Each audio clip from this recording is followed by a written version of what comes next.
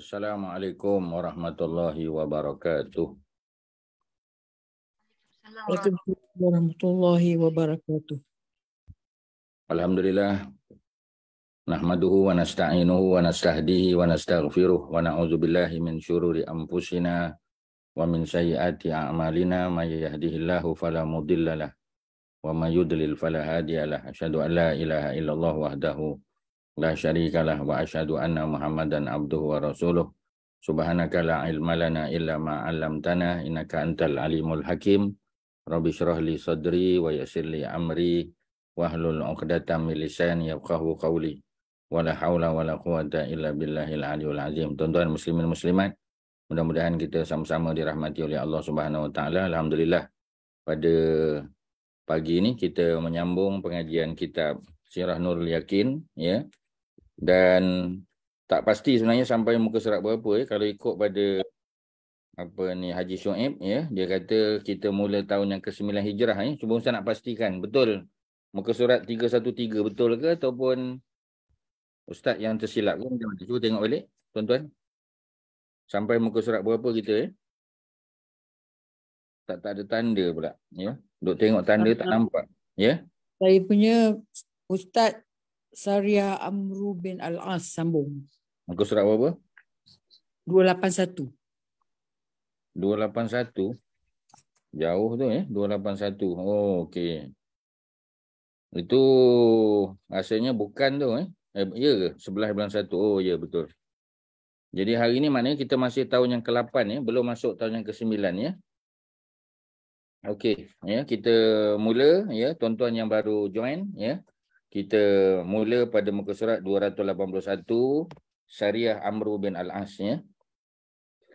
Jadi yang pertama syariah ya kita dah sedia maklum syariah ya syariah sebenarnya ya double y betul ya sin ra ya tak marbutah sariyatun bunyinya sariyatun ya maknanya pasukan ketenteraan ya military campaign yang diketuai oleh selain daripada nabi di sini ialah amru bin ya, amru bin al-as ya amru bin al-as jadi kita boleh sebut amru. Tadi dalam apa ni apa bila kita menyebut tentang moyang Rasulullah ya Hashim Hashim ya Hashim. Dia Hashim bin Abdul Manaf dia berkahwin dengan seorang perempuan ya apa ni daripada kalangan Khazraj ya yang kita panggil Salma binti Amr ya. Ha, jadi di situ kita sebut Amr ya sebab dia jadi second noun ya. Ha, Salma bintu Amr ya ha, ini sama Amru tapi di sini kita sebut Amru sebab dia duduk di awal ayat Amru bin Al-As ya Amru bin Al-As beliau adalah orang Quraisy ya Bani Saham ya As-Sahmi salah seorang pemimpin apa ni perang, seorang ahli politik yang licik ya ha, dan beliau memang terkenal dengan dia punya apa? Dia punya kehebatan dia lah, ya ha, sebab beliau ni pandai bercakap ya. Orang Quraisy ni kebanyakannya pandai bercakap. Ya, ha, jadi bila dia pandai bercakap, ya, maknanya dia punya apa kita panggil, ya. Dia punya apa istilah dia? Dia punya kemahiran bercakap tu disokong ya dengan dan di apa? ya disokong dan juga di apa istilahnya diperkuatkan dengan kemahiran dia dalam bidang syair ya ha. jadi dia pandai bersyair jadi bila dia pandai bersyair ya maka sudah tentu ya dalam percakapan tu ya dia boleh uh, berhujah dengan baik memberi keyakinan pada orang lain ya ha. sebab kemahiran bersyair tu ya itu memang kehebatan orang Arab ya uh, masakan tidak ya Allah telah merakamkan satu surah dalam al-Quran yang kita panggil surah Asy-Syu'ara, surah yang ke-26. Ya, Syu'ara merujuk kepada para penyair, a group of ya, apa ni penyair lah, ya. Ha, jadi kalau seorang kita panggil syairun, kalau plural ya, Syu'ara. Ha, jadi salah seorang daripada mereka yang pandai bercakap, yang mahir berpidato juga ialah Amr bin Al-As. Beliau ya bapa kepada Abdullah bin Amr. Abdullah bin Amr adalah salah seorang sahabat Nabi yang banyak beribadat. Amru ya bapa dia ahli politik yang telah pergi melobi apa ni Raja Najasyi supaya membatalkan suaka politik yang diberikan ya oleh Raja Najasyi kepada para sahabat Nabi yang beriman yang berlindung di dalam negara dia. Tetapi ya Najasyi yang seorang merupakan orang yang adil, orang yang bijaksana, beliau telah menolak ya pelawaan Amru tadi, dia memulangkan semua hadiah yang diberi oleh Amru ya sebab Amru bagi hadiah bukan saja-saja bukan sebab nak muliakan Raja Najasyi tapi dia bagi hadiah tadi dengan tujuan supaya supaya apa ni Najasyi membatalkan suaka politik yang telah diberikan. Mana boleh tuan-tuan? Tu rasuah. Kita dah sebut tadi ya. Ha, jadi memberi sesuatu dengan tujuan supaya orang yang diberi hadiah itu ya dia dia ikut cakap kita ikut telunjuk kita Ya, tak boleh tuan-tuan, minta maaf. Ya, yang itu bukan hadiah, yang itu bukan sedekah. Ya, yang itu adalah yang itu adalah rasuah tuan-tuan. Tak boleh tuan-tuan. Dia salah. Ya, ha. dari segi undang-undang pilihan raya pun salah. Ya, kalau di Malaysia kita kata SPRM pun menyebut ianya sebagai rasuah, dia bukan pemberian ya saja-saja untuk membantu orang miskin bukan. Ya, kalau kita bagi bukan dengan tujuan untuk menarik undi dia, ha, itu tak ada masalah. Ya, seperti mana kita sebut apa ni bekas menteri besar Kelantan ya apa ni Datuk Tuan Guru Haji Abdul Aziz ya nikmat ya apa yang dibuatnya tuan-tuan. Dia kata masa pihak AMNO pada masa tu ya berlawan dengan PAS bila AMNO bagi duit kita terima. Bila AMNO bagi beras kita ambil kita masak. Bila dia bagi gula kita ambil buat air. Ya ha, tak ada masalah.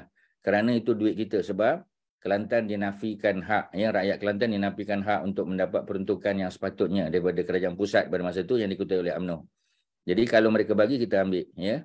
Tetapi kalau kita ambil dengan tujuan untuk mengundi mereka yang itu adalah rasuah. Tak boleh tuan-tuan. Ha, jadi macam biasalah kita dah faham dah ya. Tok Guru Aziz dah melihat benda ni jauh ya. Ha, apa ni belasan tahun ya. Kalau tidak puluhan pun belasan tahun yang lalu tuan-tuan. Dia dah dia dah rata macam tu. Tapi kalau kita beri duit dengan tujuan ya untuk supaya mereka mengundi kita itu adalah rasuah jelas. Ya, dia tak ada dolak dalih lagi. Clear tuan-tuan ya, selesai. Amru bin Al-As dia bagi hadiah kepada Raja Najasyi. Tujuan dia adalah supaya Raja Najasyi ikut telunjuk Amru bin Al-As mana. Boleh tuan-tuan. Ya, apa ni Raja Najasyi terkenal sebagai seorang raja yang adil. Beliau adil ya dan beliau adalah orang yang apa kita panggil ya, orang yang orang yang sangat ya menjaga apa kita panggil keputusan yang dibuatnya. Walaupun kadang-kadang keputusannya tidak dipersetujui oleh golongan golongan apa golongan gereja ya ha, sebab dia agama Kristian Ortodok. Ya, walaupun ada sebahagian komen yang dibuat terhadap Al-Quran dan perutusan Nabi sallallahu alaihi wasallam tu tidak dipersetujui oleh para padrinya, tapi dia tak peduli tuan-tuan. Ya, dia bertahan dengan dengan stand ya dengan apa kita panggil ya dengan pandangan dia. Ha, pendirian dia ya. Ha, dia tidak dia tidak berpusing-pusing berdolak dalih ya menggunakan apa kita panggil ya menggunakan agama sebagai apa sebagai penyokong ya ha, memperkuatkan dalil dan bukti bukan tuan-tuan najasyi bukan macam tu ya sebab tu dalam surah ali imran di hujung ali imran kalau kita amal ya tiap-tiap pagi tuan-tuan bila kita bangun tidur ayat 190 hingga 200 antaranya ayat yang ke 199 ya innal ladzina apa ni innal in, uh, innal ladzina uh, apa ayat terakhir tu ya uh, inna minal mu'min inna apa tu ujung tu ajar Zainab tolong Ustaz di ayat terakhir tu Ya, ayat terakhir surah Ali Imran ayat yang ke-199 tak ingat apa dia. Ya. Ha. Jadi ayat yang terakhir itu tuan-tuan kena amal pagi-pagi tuan-tuan ya. Bangun tidur Nabi amal ya. Ha. tengok keluar, tengok ke apa kita panggil? Tengok ke apa? Ya, tengok ke tingkap luar ya ha. ataupun pandang ke atas. Ya kalau Nabi pandang ke langit ya, Nabi sebut ayat 199 ya surah apa? Ya surah Ali Imran. Tuan-tuan boleh tengok Quran muka surat 76 ya. Inna min ahlil kitab ya. Ha, wa inna. Mari kita tengok ayat ni sebagai mukadimah. Sangat menarik ayat ni ya. Wa inna dan sesungguhnya min ahlil kitab daripada kalangan ahli kitab. Ni ayat ni turun tentang Najasyi dengan dengan pemimpinnya tuan-tuan. Ya, dan sesungguhnya kata Allah ya, sebahagian daripada ahli kitab sama ada Yahudi atau Nasrani dalam konteks ini Nasrani Najasyi lah ya laman yu'minu billah ya ha, adalah orang yang beriman dengan Allah wa ma unzila ilaikum dan apa yang diturunkan kepada kamu mana al-Quran dia beriman kepada apa yang Allah pernah turunkan yakni tahu apa ni Injil dia beriman dengan al-Quran wa ma unzila ilaihim dan apa yang diturunkan kepada mereka. Kerana ketika Quran turun semua kitab terdahulu terbatal. Ya semua kitab terdahulu dianggap sebagai expired tuan-tuan. Dia dah sampai expiry date dia. Quran dah turun. Quran membatalkan semua syariat yang terdahulu. Ya, sebab itu Nabi Isa ketika dia turun ya ke dunia ya membantu apa ni Al Imamul Mahdi untuk membunuh Dajjal. Umat Islam daripada Ya'juj dan Ma'juj ketika dia dia dia apa dia memimpin umat manusia pada masa datang ya hukum yang ditegakkan adalah hukum al-Quran. Dia tak pakai lagi uh, Injil. Walaupun Injil itu diturunkan oleh Allah ya kepada baginda. Tapi yang dipakai adalah Quran. Sembahyangnya macam sembahyang syariat Nabi Muhammad. Puasanya zakatnya haji dan sebagainya. Sama tuan-tuan. Itu bukti. Jadi mereka beriman kepada kepada Allah Subhanahu Wa Taala, beriman kepada ya Quran yang diturunkan kepada mereka dan, dan diturunkan kepada kamu yakni Muhammad. Khashiin lillah mereka khusyuk, mereka tunduk kepada Allah ya, ha, mereka tawaduk kepada Allah. La yashtaru nabi ayatillahi samanan qalilah. Ya, mereka tidak membeli ya ayat-ayat Allah itu, mereka tidak menjual ayat-ayat Allah itu dengan harga yang sedikit. Ya, ha, jadi orang bagi apa kita panggil ya orang bagi RM100, RM200 kita terima. Tu murah sangat tuan-tuan. Ya, dan kita berjanji untuk mengundi seseorang calon ya dengan apa kita panggil ya dengan sedikit upah ya sama nang qalilah tak ada tuan-tuan. Uh, apa Najasyi dengan para pemimpinnya tidak menerima rasuah ya yang diberikan oleh Amr bin Al-As sebab tujuan dia memberikan barang-barang ya yang menarik yang didatangkan khas daripada Mekah kepada Najasyi adalah supaya Najasyi membatalkan sokong politik. Dengar cakap dia, tak mahu tuan-tuan. Itu bukan cerita Najasyi. Sebab itu Najasyi dipuji oleh Allah Subhanahu Wa Taala. Ya, ha, Najasyi dan pemimpin-pemimpin ya, apa ni di apa di apa kita panggil di Eritrea, ya pada masa itu bumi Eritrea, ya dipuji oleh Allah Subhanahu Wa Taala. Ya, mereka khusyuk tawaduk, ya rendah diri. Mereka tidak menjual ayat-ayat Allah dengan harga yang sedikit. Ulaika lahum ajruhum inda rabbihim. Mereka ini Najasyi ya dan orang beriman di Eritrea bagi mereka ajruhum balasan mereka ganjaran mereka adalah di sisi Allah Subhanahu Wa Taala. Di dunia ya mungkin kita hilang sedikit habuan tak apa tuan tak ada hal. Ya sebab habuan yang diberikan kepada kita itu adalah habuan yang yang tidak halal. Ya ha. jadi apa yang mereka dapat? Mereka dapat ya ajruhum inda rabbihim. Innallaha sari'ul hisab dan tuan-tuan jangan bimbang. Sesungguhnya Allah ini ya hisapnya hukumannya adalah segera adalah cepat di dunia lagi kita dah tengok tuan-tuan ya ha tuan-tuan jangan bimbang kalau kita berada di jalan kebenaran ya kita buat sesuatu bukan melihat kepada sesiapa yang bercakap ya. Kita melihat kepada apa yang dia cakap ya. Sebab tu dalam dalam bahasa Arab disebut kaedah dalam bahasa Arab ya unzur ila maqila lihatlah kepada apa yang diperkatakan ya. Apa hujah apa dalil apa bukti ya. Wala tanzur ila man qala dan jangan kamu lihat semata-mata kepada siapa yang bercakap. Mentang-mentang yang bercakap tu profesor, mentang-mentang yang bercakap tu doktor ada PhD, dua tiga PhD, mentang-mentang yang bercakap tu ulama besar di iktiraf, maka ya benarnya itu bukan kerana siapa dia, tapi benarnya itu kerana apa yang diperkatakannya tuan-tuan. Ya, ha. sebab itu kalau yang dikatakan tu diambil daripada Quran tapi bukan diselewengkan maknanya. Sebab ramai juga orang yang menggunakan Quran ya dengan makna yang berbeza dalam konteks yang berbeza dan salah tuan-tuan. Tak boleh, minta maaf. Ya, sebab tu kita ada akses kepada Quran. Tuan-tuan boleh tengok terjemahan tafsir dan sebagainya. Ya, ha, tu kalau Ustaz boleh kongsi dengan tuan-tuan, ayat yang ke-199, salah satu daripada 11 ayat. Ya, tuan-tuan. Ya, ha, yang Ustaz boleh share dengan tuan-tuan. Ini disebut dengan jelas ya, dalam kitab-kitab tafsir termasuk oleh Al-Hafiz Ibn Qasir. Ya, cerita tentang apa tuan-tuan? Ya? Cerita tentang cerita tentang cerita tentang amalan Rasulullah sallallahu alaihi wasallam ketika bangun daripada tidur ya ha, kita bangun tahajud ke bangun subuh ke tuan-tuan ya ada peluang kita baca ayat ni. Kalau tak sempat baca segera pun usahakan juga bacalah sebagai sebahagian daripada bacaan dalam apa ni solat subuh ke ya. Ha, usahakan juga. Kerana ni amalan nabi ya. Daripada ayat yang ke-190 ya. Inna fi khalqis samawati wal ardh sesungguhnya pada penciptaan langit dan bumi ya. Ha, pergantian pergiliran siang dan malam. Sebab ya sebab ni dibaca ketika kita bangun daripada tidur. Ya ha. maknanya kita baru bangun daripada kematian. Sebab tidur tu adalah satu juzuk daripada kematian. Kita bangun dan kita baca tuan-tuan. Ya kita amal. Ya ha. 190 sampai ayat yang ke-200 agak panjang sebelah ayat. Ya ha. kita kata satu muka setengah. Tapi kalau dah biasa kita amal insya-Allah dia tak jadi berat. Ya itu kalau ustaz boleh mukadimahkan pertemuan kita. Okey tuan-tuan ya. Balik kepada muka surat 281 tuan-tuan yang ada kitab ya sila buka muka surat 281 syariah ya. Ha, maknanya uh, pasukan tentera ya military campaign yang diketuai oleh Amru bin Al-As. Beliau adalah seorang pemimpin Quraisy pandai bercakap pandai berpidato ya pandai bersyair juga. Dan beliau dihantar ya sebagai duta oleh apa ni pemimpin Mekah Abu Sufyan pada masa itu untuk melobi Raja Najasyi tapi dia gagal. Ya, ha, kerana dia cuba merasuah ya, ha, dia nak bagi hadiah kononnya ya. Ha, hadiah orang Mekah ni biasa dalam bentuk apa ni apa kita panggil ya, dalam bentuk kulit binatang ya, dalam bentuk barang-barang ya, apa ni kraft tangan yang dibuat berdasar daripada kulit dan bulu yang ya kalau kita jual memang berharga sangat tinggi, memang hebatlah ya. Ha, tetapi ya Najasyi tidak disogok, tidak mudah menerima sogokan kerana mereka adalah orang yang khasyi'ina lillah khusyuk pada Allah Subhanahu wa taala la yashtaru nabi ayatillahi samanan qalila mereka tidak menjual agama Allah dengan dengan apa ya dengan harga yang sedikit jangan tuan-tuan ya ha, jangan kita gadaikan prinsip kita jadi ini panduan Quran jangan peduli siapa yang bercakap tengok apa yang yang dicakapkannya kalau yang bercakap tu dalam konteks ya ha, fitnah ya yang telah dibuat oleh Abdullah bin Ubay ya kita dah belajar dah Abdullah bin Ubay kutuk Nabi, cela Nabi, belakang Nabi. Ya. Tiba-tiba datang seorang budak muda ya, yang dengar. Ya, ha. Jadi bila dia dengar tu, ya, maka apa kita panggil? ya, Maka Zaid bin Arqam yang dengar tu, beliau report pada Nabi. Ya. Ketika dia report, Omar, Omar percaya pada dia. Sebab dia kenal siapa Zaid bin Arqam ni, walaupun dia budak kecil.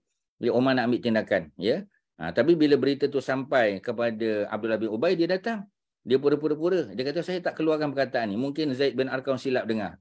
Mungkin sebab dia tak dengar betul. Dia terdengar ya ataupun salah dengar. Ya dia telah buat interpretasi yang salah. Saya tak kata macam tu.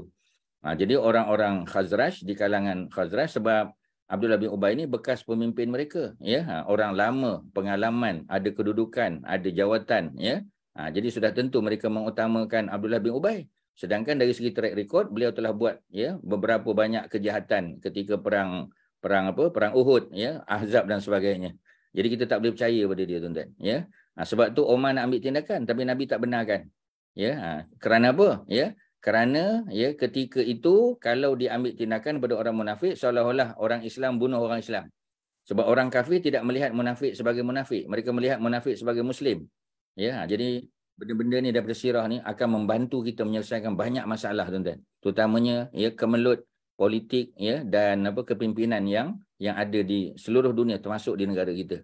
Sebab itu sirah ya ha, tafsiran al-Quran yang juga berdasar pada sirah, tafsiran hadis-hadis Nabi yang juga berdasar pada sirah dia akan membantu kita ya ha, untuk guide kehidupan kita tuan-tuan menuju ke jalan kebenaran. Tuan-tuan jangan bimbang.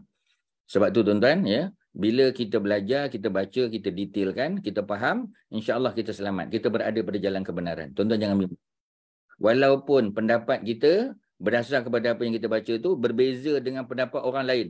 Ya, majoriti. Majoriti tak mesti betul. Tuan-tuan kena faham. Ya. Yang betul itu kalau dia kata apa yang Allah sebut, apa yang Nabi tafsirkan. Ya, tapi macam tadilah Quran tidak boleh diterjemah dengan dengan apa kebijaksanaan akal kita semata-mata tak boleh tuan-tuan. Ya, Quran of course berdasar pada bahasa Arab, kaedah-kaedah bahasa Arab, kaedah fiqh dan sebagainya, tetapi mesti dibuat berdasarkan kepada pandangan para ulama. Ada Ibnu Katsir sebut, Imam At-Tabari, Al-Qurtubi dan sebagainya. Okey, Ibnu Hajar, Imam Nawawi, ya. Ha, baru kita terima tuan-tuan. Dia kena macam tu, ya. Ha, jadi selamatlah kita insya-Allah. Tapi memang nak kena belajarlah. Nak kena baca kalau tak berapa nak rajin datang kelas. Ha, insya-Allah ya kita bantu. Okey ya Syariah Amr bin Al-As. Alhamdulillah ya ha, lebih apa kita panggil ya lebih ramai masuk ya kita boleh detailkanlah insya-Allah ya. Jadi uh, bulan Jamadil Awal. Orang Melayu panggil Jamadil Awal. Di sini ada kesilapan ya. Sebenarnya orang Arab panggil Jumada, Jumada bukan Jamadi. Kalau Jamadi dia masculine, lelaki. Ya, tetapi kalau Jumada dia muannas, dia perempuan. Jadi kalau Jamadi al-awwal. Sebenarnya bukan Jamadil awal. Dia Jumada al-ula. Al-awwal kalau dia masculine. Kalau dia feminin al-ula. Betul-betul kat situ pun kita ya ada buat kesilapan. Yang mana yang betul? Yang ya seperti mana yang biasa disebut dalam hadis-hadis Nabi lah. Jadi kita kena pakai yang tu tuan-tuan. Rasulullah sallallahu alaihi wasallam mendapat berita bahawa Bani Qudaah ya Bani Qudaah ya dia ada Khuzaah dia ada quda'ah. Kalau khuza'ah dengan kha, ya khuza'ah. Yang ini quda'ah dengan qaf, ya dan dot quda'ah. Telah mengumpulkan kekuatan di negeri mereka yang terletak di belakang Wadi Al-Qura untuk menyerang Madinah. Maknanya mereka ni badui. Ya, mereka ni orang-orang badui. Ya, Rasulullah sallallahu alaihi wasallam menghantar Amr bin Al-As. Ha, masa ni Amr telah masuk Islam. sebab ni tahun yang ke-8 dan tuan-tuan kena tahu Amru bin Al-As masuk Islam lambat. Dan beliau masuk Islam pada hari yang sama dengan dia, dia punya saudaranya sepupunya tuan-tuan. Siapa sepupu Amru bin Al-As? Khalid bin Al-Walid. Ya Khalid bin Al-Walid adalah ya ha, panglima perang yang hebat. Amru juga sama ya ha, cuma Amru lebih terkenal dengan seorang politician ahli politik ya dia seorang ahli politik dia seorang yang pandai bercakap berpidato dia jadi dia jadi apa dia jadi duta orang Quraisy ya untuk menghantar maklumat ya untuk buat hubungan diplomatik dengan negara-negara luar. Ha, jadi beliau memang terkenal lah. Memang seorang yang pandai bercakap ya. Ha, tetapi Khalid kurang ya. Khalid lebih pada bidang ketenteraan lah kehebatannya ya. Ha, military strategist. Amru pun orang yang tidak kurang hebatnya ya. Ha, jadi mereka pada awal tahun yang ke-8 Hijrah ya datang ke Madinah ber, apa kita panggil ya ha, bertemu dengan Nabi dan menyatakan keislaman mereka. Alhamdulillah selamat mereka tuan-tuan. Jadi setelah masuk Islam ya Rasulullah baru masuk Islam ni. Rasulullah telah menghantar ya Amru bin Al-As bersama dengan 300 orang tentera yang terdiri daripada orang-orang pilihan. Ya, ha, maknanya selected few je lah. Tak ramai ni. Ya. Ha, lebih kurang 300 orang. Golongan pilihan ni dipanggil apa? Apa ni Al-Mukhtarin, Al-Mukhtar. Mukhtar ni orang yang terpilih. Ya, Al-Mukhtar, ya. Ha, ataupun kita kalau Rasulullah kita panggil Al-Mustafa, the chosen one, ya. Ha, sebab tu dalam Ustaz selalu kongsi dengan tuan-tuan dalam YouTube, ya. Apa ni video klip ya daripada Mahir Zain. Ya, ha, Mahir dia buat satu video klip dengan tajuk apa ni apa Nabiul Mustafa ya ha Nabiul Mustafa ni mana Nabi Muhammad sallallahu alaihi wasallam ya tajuk dalam bahasa Arabnya Al Mustafa dalam bahasa Inggerisnya the chosen one.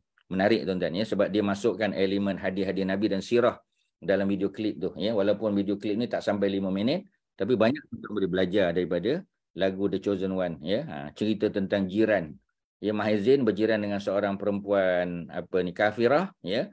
Dan orang perempuan kafirah ni ya dia bila menyapu buang sampah dia buang sampah di rumah Mahir Zain ya. Sehingga kita kata bertaburlah rumah dia ya. Ha, jadi apa jadi tak bersih tempat rumah dia ya. Ha. tetapi beliau tidak membalas dengan dengan ambil sampah tu buang ke rumah jiran. Tidak tuan-tuan ya. Ha, jadi nak tunjuk akhlak Rasulullah sallallahu alaihi wasallam. Orang buang sampah ke rumah kita kita tidak kita tidak balas dengan buang sampah ke rumah dia bukan. Ya ha, tetapi nanti ya apabila perempuan ni sakit jatuh sakit dia tak sihat, dia tak boleh buat, dia tak boleh dia tak boleh buang sampah lagi. Maka Mahir Zain ya, ha, sediakan masakan, bawa masakan ke rumah perempuan tadi sehingga malu Allah perempuan tadi tuan-tuan. Ya, ha, jadi maknanya nak tunjuk ya di hujung video klip tu eh, Mahir Zain ya, apa ni membalas kejahatan dengan kebaikan. Inilah sifat Nabi sallallahu alaihi wasallam. Ya. Dalam apa ni video klip tersebut juga ada kisah seorang lelaki dan perempuan suami isteri yang mereka belum berlari seperti mana Nabi dengan Aisyah kita tahu. Tuan-tuan kena tengok video klip ni. Walaupun ya The Chosen One ni apa ni An-Nabiul Mustafa ni ya adalah video klip yang lama tetapi elemen-elemen sirah dan hadis yang dimasukkan ya dalam video klip tu oh, memang kita kata boleh buat contoh tuan-tuan ya. Ha, dengan apa ni melodinya dengan apa ni seni kata lagu liriknya yang bagus ya. Ha, dia sangat sangat memberi kesan ya kepada orang yang melihat ya. Ha, dakwah melalui apa ni apa kita panggil ya melalui nasyid ataupun melalui lagu-lagu yang bersifat uh, international ni lah ya. Ha, lagu-lagu apa lagu-lagu apa kita panggil ya lagu-lagu yang boleh menyentuh perasaan orang melalui sebab ada orang kalau kita ceramah tak mendengar. Ya kalau kita cerita sirah ke apa mungkin dia susah nak dengar. Melainkan orang yang berminat lah. Ya tetapi ada orang yang mungkin kita boleh sentuh hati dia dengan lagu ya ha, terima kasih ya kerana dah share tadi. Tuan-tuan ya ha, jadi tuan-tuan jangan abaikan aspek-aspek begini. Kita kita share ya dengan kawan-kawan kita ya ha, sebab dia dakwah dalam bentuk yang sangat santai tuan-tuan. Ya dakwah dalam bentuk yang sangat santai ya yang kadang-kadang tidak perlu dengan bahasa ya ha, tetapi cukup dengan gambaran ya contoh ya ha, kita tengok ya ustaz dia tengok satu apa kita panggil satu cerita tapi dibuat oleh orang Iran orang Syiah tapi mesejnya sangat bagus tuan-tuan ya tajuknya ialah kasut je ya ha, the shoe ya ha, jadi dia punya apa ceritanya ialah seorang budak budak lelaki ya yang miskin tak ada kasut tak ada apa tuan-tuan ya. Ha, apa ni seliparnya pun kita kata dah tercabut ya. Kemudian ada seorang budak ha, anak orang senang lah ya naik apa ni train nak pergi satu tempat lain dengan mak ayahnya ya. Jadi bila dia tengok apa ni apa kita panggil ya dia ha, train datang maka apa yang berlaku tuan-tuan? Yang berlaku ialah dia dia segera nak naik Bila segera nak naik tuan-tuan, ya, maka dia kasut tu ter, ter, tertinggal satu. Ya, sebab dia kelang kabut, dia naik tu dengan satu kasut, satu kasut lagi tertinggal. Budak lelaki yang tak ada kasut tadi tuan-tuan, kalau kita kita ambil kasut tu tuan-tuan. Sebab saiz kaki budak tadi dengan saiz budak miskin tadi lebih kurang sama. Tetapi budak tadi tuan-tuan berlari, ambil kasut tu, kejar train tu. Ya, ha, dia cuba campakkan kasut tadi kepada kepada budak lelaki yang duduk dalam train tadi. Ya, ha. Jadi, ha, tetapi ya bila dia baling tak tak masuk, tak kena pada pintu tadi. Ya, dia apa kita panggil dia dia bounce tuan-tuan. Ya, kasut tu tercampak balik. Apa yang budak lelaki dalam train tadi buat tuan-tuan? Ya, dia tak boleh buat lebih pada apa apa yang kita kita tak boleh terfikir tuan-tuan apa dia nak buat. Ya, yang dibuat ialah ditanggalkan kasut sebelah yang dia ada tuan-tuan, dicampak kepada budak tadi. Sebab apa? Sebab satu kasut tak bermanfaat. Malah dalam hadis yang saya Nabi sebut, jangan kamu pakai selipar ataupun capal sebelah aja tak boleh tuan-tuan. Ya, ha, adalah rahsia di sebalik itu, ya, tapi secara umum zahir hadis tadi melarang kita daripada pakai kasut sebelah ataupun selipar sebelah, capal sebelah tak, ya. Jadi budak lelaki tadi telah tanggalkan kasut yang dipakai campak kepada budak tadi supaya budak tadi dapat pakai kasut dua-dua belah dia punya tuan-tuan. Oh tu sangat menarik. Ya, walaupun kita kata kalau dia ambil pada video klipnya tu sekejap je, mungkin dalam ya kita kata empat atau ya empat minit mungkin ya, tapi pengajarannya sangat hebat tuan-tuan. Hanya dengan menceritakan tentang konsep apa ni apa ya akhlak ya ha, orang yang baik walaupun orang Syiah punya tapi cerita kalau benda yang betul kita terimalah ya tak ada masalah tuan-tuan. Okey ya. Ustaz dah bagi dua, satu video klip daripada Mahir Zain, satu lagi adalah daripada filem. Ya, ha, apa ni kita panggil apa sedikit ya cuplikan ya daripada filem Iran tadi ya tajuknya kasut. Ya, The Shoes tuan-tuan ya. Ha, jadi tuan-tuan boleh tengok. Okey ya. Balik pada cerita tadi. Baginda ya ha, telah apa menghantar Amr bin Al-As dengan 300 tentera yang terdiri daripada orang-orang pilihan. Ya, maknanya golongan ya, Al-Mustafa ya ataupun al-mukhtarin ya ha, golongan yang terpilih daripada kalangan muhajirin dan ansar. Kemudian baginda menghantar Abu Ubaidah bin Al-Jarrah ya ha, Abu Ubaidah bin Al-Jarrah adalah ya orang yang ke-9 di jamin syurga. Ada 10 semua. Abu Bakar Omar Osman Ali the first four tu kita hafal lah. Ya nombor 5 Abdul Rahman bin Auf nombor 6 Sa'ad bin Abi Waqqas. Dah sebut banyak kali dah. Ustaz sebut laju je nombor 5 Abdul Rahman bin Auf nombor 6 Sa'ad bin Abi Waqqas Nombor tujuh, Az-Zubair bin Al-Awam. Nombor lapan, Talhah bin Ubaidillah. Nombor sembilan, nombor sembilan adalah Abu Ubaidah ya, bin Al-Jarrah. Ya, beliau daripada Bani Al-Haris. Beliau adalah Quraisy. Ya, tapi agak jauh sikit. Dengan Nabi tu agak jauh lah. Tapi masih daripada susu galuh Quraisy. Ya, ha, jadi beliau orang hebat, orang kaya, ya, peniaga juga. Dan beliau adalah salah seorang daripada pemimpin tentera. Dan beliau juga adalah gubernur, ya, antara gubernur awal ya, yang dilantik oleh Sayyidina Umar di negeri Syam ya. Ha, dan beliau meninggal dalam wabak ya wabak taun yang berlaku di Jordan dan kuburnya ada di Jordan di apa di Aman tuan-tuan ya. Okey itu Abu Ubaidah juga. Jadi nombor sembilan. Nombor sepuluh adalah Said bin Zaid adik ipar kepada Saidina Umar ada sepuluh. Usah ulang sajalah ya. Ha. Abu Bakar ya.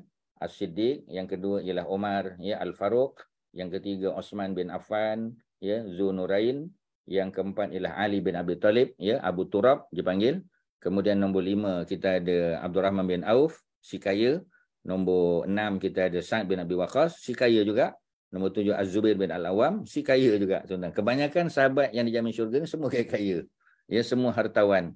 Ya, ha. Jadi nombor tujuh, ya, apa ni, siapa tadi? Az-Zubair bin Al-Awam. Nombor lapan adalah Talha bin Ubaidillah, kawan baik pada Az-Zubair. Ya, lahir pada tahun yang sama, ya 28 tahun sebelum hijrah kemudian masa hijrah umur 28 ya meninggal pada tahun yang ke-36 hijrah. Meninggal pada masa peperangan Jamal ketika Az-Zubair dan juga Talhah ya mengiringi Aisyah yang sudah tidak ada mahram. Ya sebab suaminya Rasulullah telah wafat bapaknya Abu Bakar telah wafat dua adik-adik lelakinya Abdul Rahman bin Abi Bakar dan Abdullah bin Abi Bakar juga telah wafat.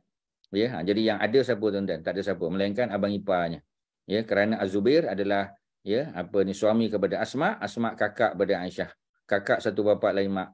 Ya ha, jadi beliaulah ya Az-Zubair yang pergi menemani Aisyah. Tapi Az-Zubair tidak boleh pergi bersendirian. Ya ha, jadi Az-Zubair pergi bersama dengan Talhah bin Ubaidillah. Ya ha, jadi kedua-duanya terbunuh dalam perang apa ni Jamal perang unta dan dikebumikan kedua-duanya di bumi Basrah di Iraq tuan-tuan. Ya jadi alhamdulillah ya kita ustaz dah pergi ziarah ya kubur kedua-dua mereka bersama kubur Anas bin Malik di Basrah ya pada bulan Disember baru-baru ni. Alhamdulillah tuan-tuan. Okey ya, apa cerita Abu Ubaidah Al-Jarrah. Bersama 300 orang tentera sebagai tentera bantuan. Abu Bakar dan Umar turut serta dalam tentera bantuan tersebut. Ya, ha, jadi Amr bin Al-As ni kita kata beliau adalah seorang muallaf lah. Ya, sebab apa? Sebab dia baru masuk Islam. Ya, ha, tak sampai berapa bulan ya dia masuk Islam baru sangat. Tapi oleh kerana ketokohan dia dalam bidang ketenteraan maka beliau dilantik. Ya, ha, dibantu pula oleh Abu Ubaidah Al-Jarrah ya dah masuk Islam sejak di Mekah. Dia di antara minal apa kita panggil minas minal minas minal awalin wasabiqin ya ha, orang-orang yang awal masuk Islam. Kemudian Abu Bakar dan Umar turut serta. Mereka bertemu Amru sebelum beliau sempat bertemu musuh. Terdapat beberapa orang tentera yang ingin menyalakan api tetapi Amru melarangnya ya. Ha, jadi sebab keadaan terlalu sejuk masih apa yang berlaku ya Amru halang ya. Ha, sedangkan sejuk bila sejuk kita pasang unggun api. Patutnya bila unggun api ada kita boleh panaskan badan. Ya ini Quran sebut tuan-tuan.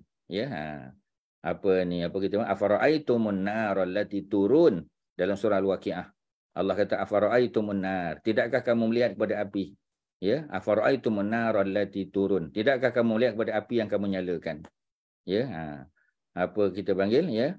Ha, antum ansya an an ansya antum ansya tuha ya adakah kamu yang apa menciptanya? Nya tu makna pokok yang daripada batang pokok tu kamu boleh buat apa kayu api tadi. Ya? Ha, ataupun Allah Subhanahu Wa Taala. Ya? Ha, kemudian Allah sebut tentang golongan musafir di padang pasir ya golongan dipanggil sebagai mukwin ya ha, ataupun musafirin. Jadi apa ni apa kita panggil ya itu ha, orang-orang orang-orang musafir ini mukwin ni mereka menggunakan api tadi ya sebagai tempat untuk memanaskan badan. Sebagai petunjuk ya dalam perjalanan ya kerana kegelapan sebagai contoh. Ha, jadi Allah sebut secara secara jelas ya memang api sangat diguna sangat berguna di padang pasir. Tetapi Amru melarang. Amru kata jangan. Ya jangan apa ni nyalakan api. Ya Sedangkan api itu akan membantu mereka ya sebagai apa kita panggil ya sebagai bekalan mereka ya mata ya ha, tetapi dia tidak membenarkan. Umar tidak berpuas hati. Lalu Abu Bakar berkata, sesungguhnya Rasulullah melantik Amru sebagai ketua kita kerana kepintarannya dalam bidang peperangan. Ya, Umar dah tak puas hati dah kata, ni sejuk ni, ya pasang api. Ya, nyalakan api, unggun api. Ya, pasal apa pula apa ni Amru ni halang? Ya, ha, Abu Bakar ada di situ. Alhamdulillah tuan-tuan. Abu Bakar kata, Nabi pilih Amru ni sebab dia cerdik.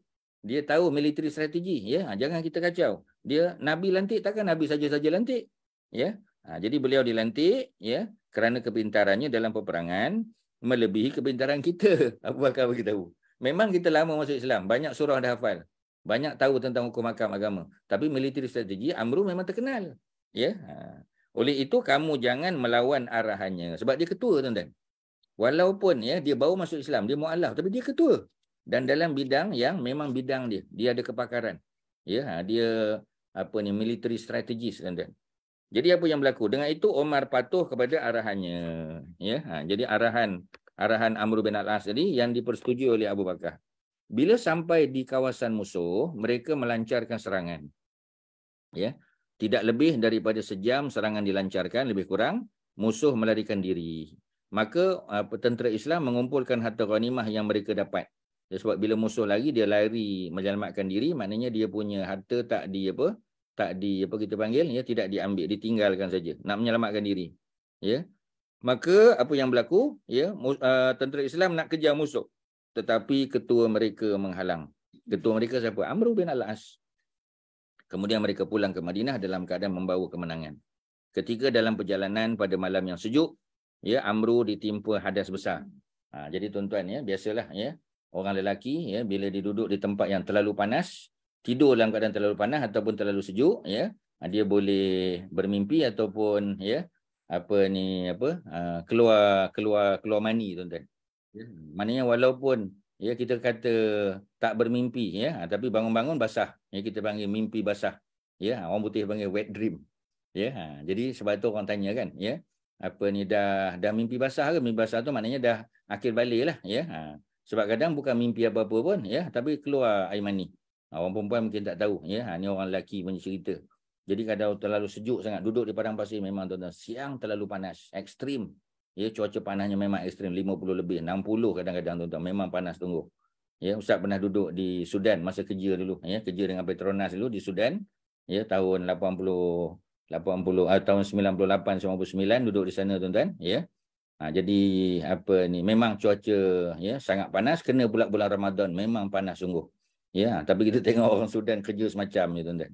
Ya, kerja apa kita panggil road construction ya.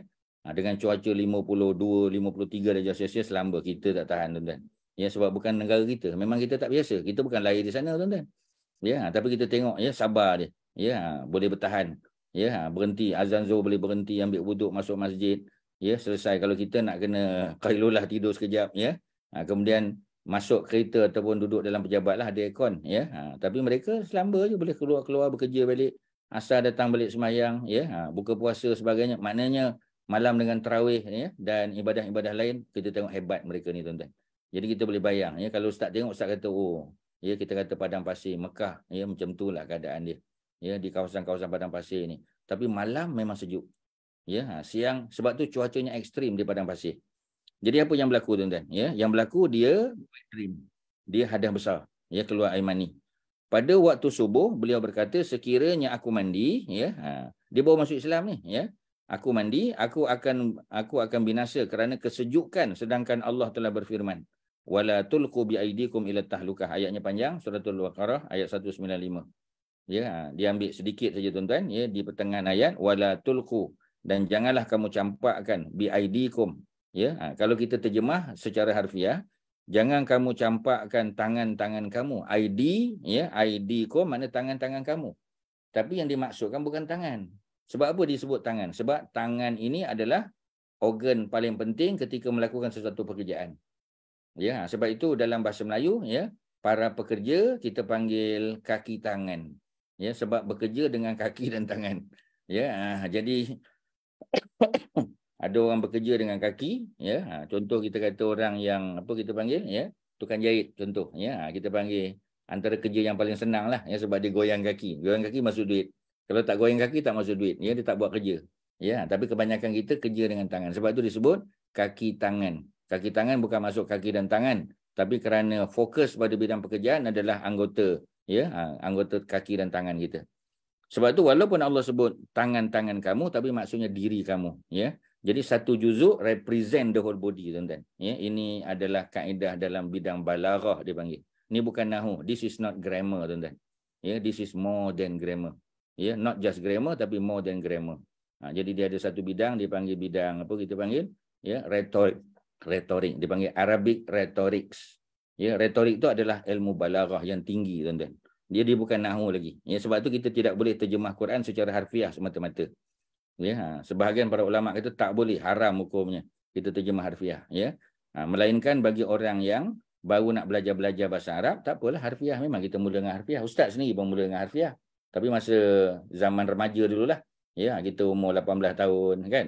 Umur 18, umur 19 kita dah mula terdedah dengan sistem harfiah ni. Ya, ha, tapi macam itulah ya selepas selepas 10 tahun, 20 tahun, 30 tahun ya. Maknanya kita sudah alhamdulillah ya kita kita menguasai lah kaedah-kaedah tu ya. Kita belajar pula nahwunya. Belajar pula ilmu balaghahnya, retorik ya. Alhamdulillah ya kita sampai satu tahap di mana kita boleh ya boleh memahami walaupun ya Quran tak ada terjemahan. Dah dah dibiasakan. Bila baca Quran jangan baca terjemahan tuan-tuan ya. Do not pamper yourself ya with the translation. Kalau kita baca dan asyik nak tengok translation macam mana kita nak dapat? Jadi kena baca Quran apa kita panggil ya Quran yang tak ada terjemahan. Ya usahakan juga untuk memahami kalau tak boleh juga ya last resort baru tengok makna dia tuan-tuan. Itu pun tengok makna-makna ringkas tak perlu tengok detail. Ha, melainkan tafsiran, tafsiran kena bacalah. Ya itu ada pilihan.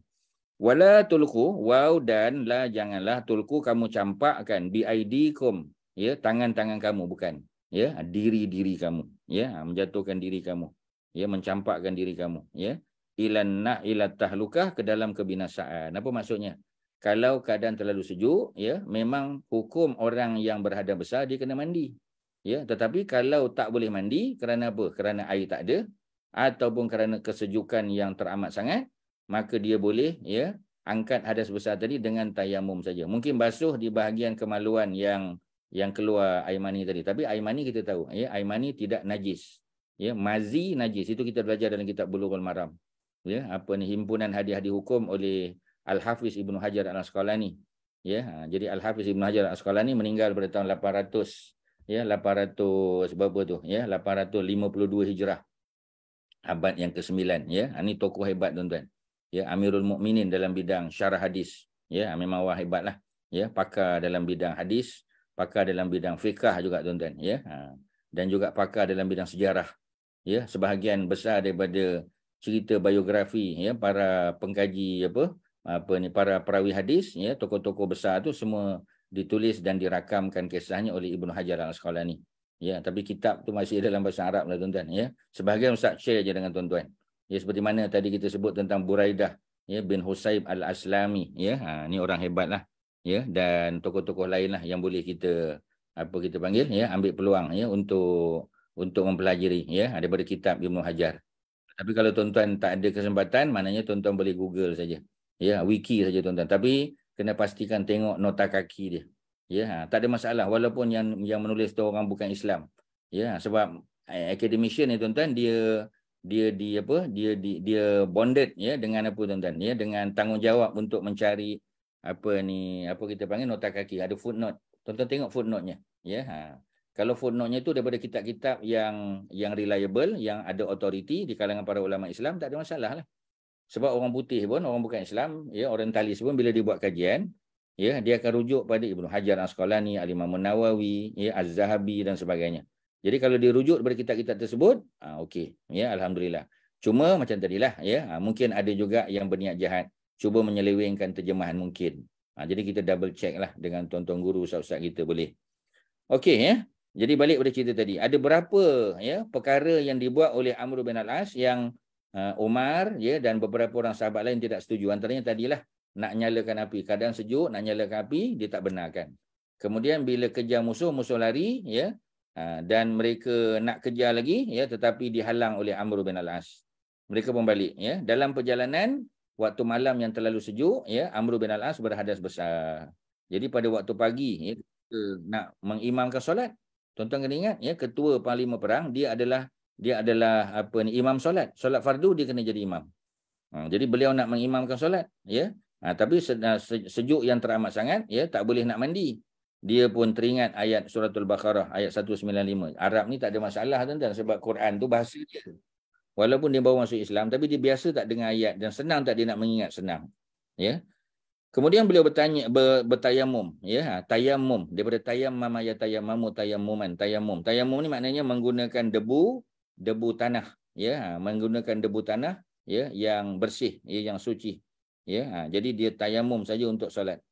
Jadi ustaz tanya kepada tuan-tuan ya kalau kita tayamum tuan-tuan tayamum ya untuk solat ya untuk kita ada besar dan kita tayamum nak solat ni tuan-tuan berapa kali kita kena tayamum? Dua kali ke sekali Adakah kita kena tayamum untuk angkat hadas besar kemudian kita tayamum lagi untuk untuk apa ni untuk gantikan wuduk ya kemudian baru kita solat. Adakah dua kali kita tayamum ataupun sekali? Dua atau sekali tuan-tuan? Ya silakan. Sekali Ustaz. Sekali ya. Sebab apa tak dua kali? Sebab bila kita um, macam kita ambil hadas bes, ambil angkat. Macam kita uh, uh, angkat tu kita dah dah terakhir lah kan Ustaz. Ha. Yalah, ya. Ha. Hmm. Kalau boleh kita baiki sikit perkataan tu, siapa boleh bantu? Dah betul lah ya, Kak Suhati dah betul lah. ya, sebab sebab hadas kecil, ya, hadas kecil tu hadas kecil, angkat apa ni, apa ambil wuduk tu hadas kecil untuk solat. Sedangkan ya keluar mani itu hadas besar. Bila kita angkat hadas besar, bila hadas besar terangkat, maka secara automatik hadas kecil pun terangkat. Ya, ha. macam kita kata orang yang dijatuhkan hukuman kan, ya. Ha. Jadi kita panggil double jeopardy lah. Ya, dalam bahasa Inggeris kan. Ya. Double jeopardy apa Kak Suharti? In English. Yeah. You, you cannot you you cannot be tried for the same offence two times ah. Okay ya. Ha, jadi maknanya kalau seseorang itu dijatuhkan hukuman, dia ada buat dua kesalahan. Kesalahan pertama dia kena lima tahun. Kesalahan kedua dia kena sepuluh tahun. Ya, ha. jadi adakah dianggap dia kena 15 tahun ataupun 10 tahun saja? Jawapannya 10 tahun. Ya, ha, sebab uh, dua-dua kesalahan yang dijatuhkan hukuman pada dia itu berjalan serentak. Ya, ha. jadi Ya, tak perlu 10 campur 5 ya tetapi 5 tu dah masuk dalam 10 tadi. Macam itulah tuan-tuan ya. Ataupun kita kata orang yang dijatuhkan hukuman ya dia yang dijatuhkan hukuman kena penjara 10 tahun ha, tetapi dia kena hukum gantung juga. Dia ada dua kesalahan. Ya, jadi macam mana? Bagi dia kena hukum kena apa? Bagi dia serve ya. Dia punya kesalahan tu di penjara selama 10 tahun lepas tu baru dijatuhkan hukuman bunuh dah tuan-tuan. Ya, jadi mana hukuman bunuh tu lebih tinggi. Yang tinggi itu dia ya dia dia dah masukkan sekali yang yang kecil tadi. Jadi hadas besar ya sudah terangkat hadas besar mana sudah terangkat hadas kecil juga. Jadi tak perlu dua kali tayamum. Okey ya. Jadi dia tayamum dan solat. Selepas itu beliau mengarahkan supaya perjalanan pulang diteruskan. Sampai di Madinah Rasulullah bertanya mengenai perjalanan mereka. Bagaimana kebiasaan yang dilakukan. Muslimin menceritakan apa yang mereka rasa tidak puas hati tadi termasuk Umar kan ya terhadap tindakan Amru tadi Amru ketua ya ha, jadi bila Amru ketua ya mereka macam mana keadaannya tuan-tuan ya mereka sepatutnya apa ni apa ha, kena kena follow lah ya tetapi ada beberapa tindakan keputusan Amru yang mereka tidak setuju ya ha, jadi bila mereka tidak setuju apa yang mereka buat ya ha, yang mereka buat ialah mereka pun report mengadu pada Nabi sallallahu alaihi wasallam antaranya apa tuan-tuan ya Antaranya Amru melarang mereka daripada menyalakan api, mengejar musuh di tempat musuh, ya. Dan beliau solat dalam keadaan berhadap besar. Rasulullah sallallahu alaihi wasallam bertanya Amru mengenai perkara tersebut. Mana Nabi Nabi double check.